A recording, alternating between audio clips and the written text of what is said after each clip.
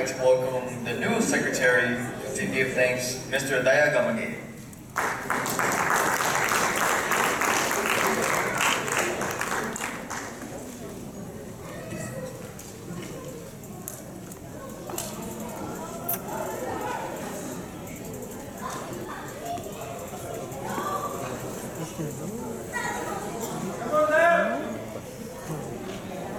Hello. Welcome, ladies and gentlemen, and these distinguished ladies and gentlemen, just in front of me.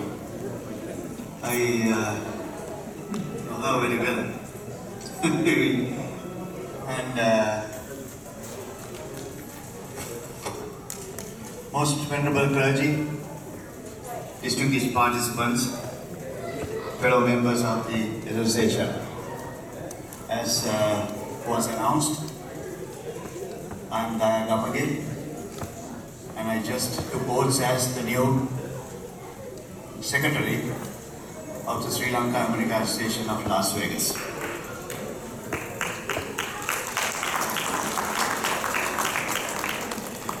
We went through one whole year with an exemplary record disproving the skeptical soothsayers.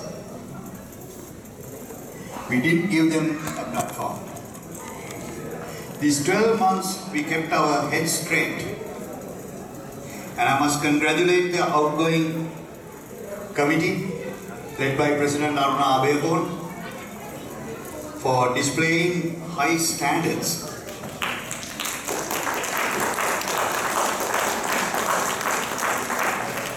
Those standards are very, very important in a congregation or a gathering of this nature. We always have to maintain that. And Mr. Abeykoon and the rest of that committee maintain that.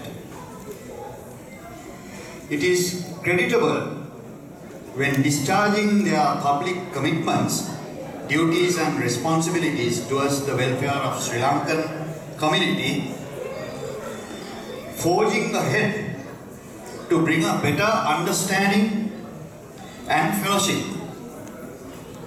They were not distracted by the display of infantile disorders seen beyond the perimeters of the association. They set the framework, Mr. Abeykoon and the, and the committee set the framework for the second year.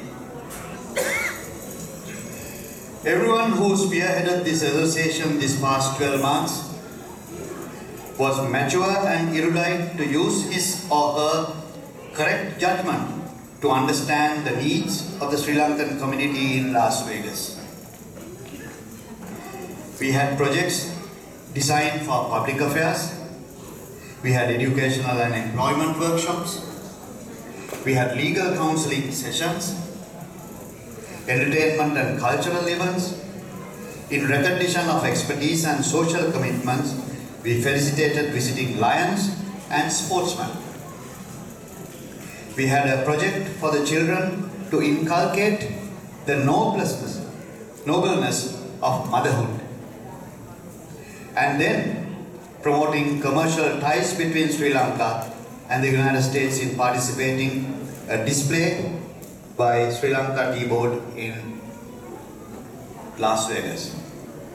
I will tell you something that uh, I need to remind you.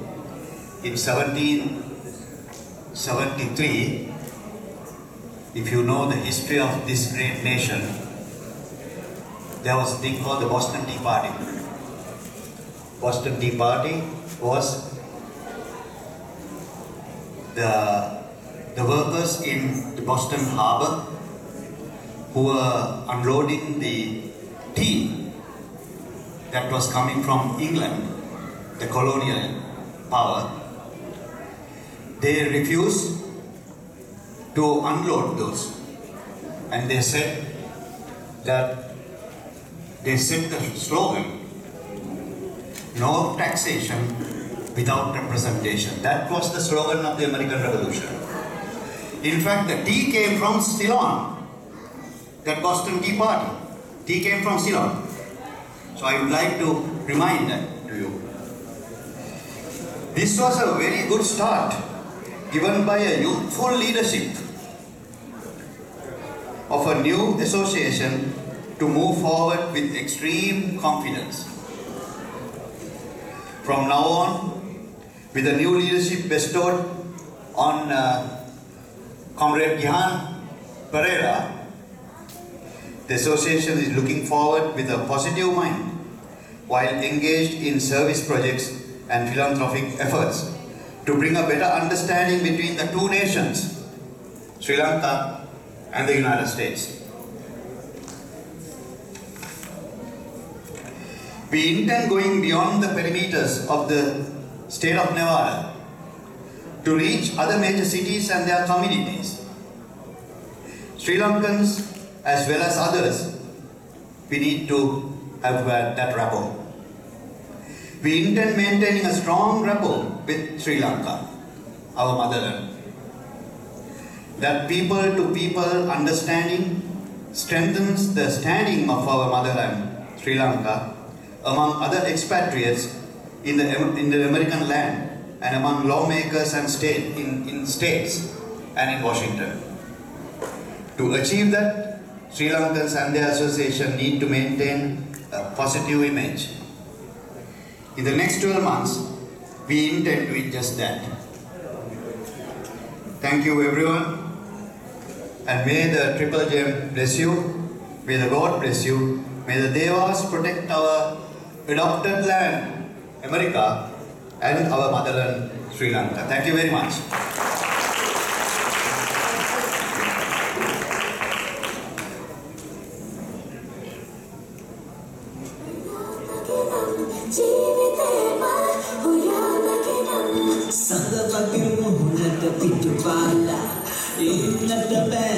ಸಂಗವಿಲ್ಲ ಒಬ್ಬನ ತಿಲೋಕೆಲ್ಲ ಕಿಪ್ಪದಿಲ್ಲ ಇನ್ನದ